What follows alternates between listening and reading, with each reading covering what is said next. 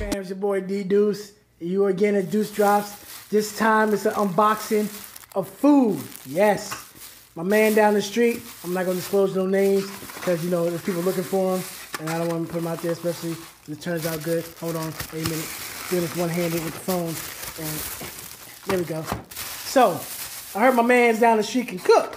So he put on a post and said that um, he is doing a uh, chicken salad, and I heard his chicken salad might be to die for. So let's check it out. So put a nice little container for me. Let's go ahead and open it up. Oh shit! Damn, that that that kind was kind of good. And uh, I ain't got no utensils, as you can see. My hands free, so we gonna use them crackers right there. Good shit.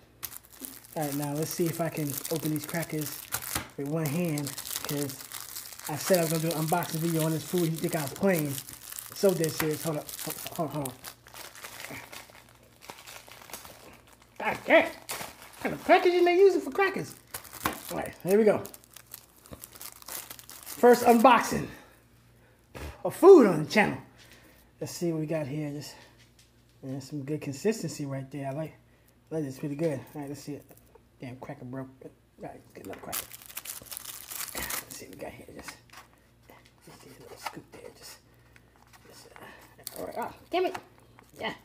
Come on, work with me. There we go. What's up?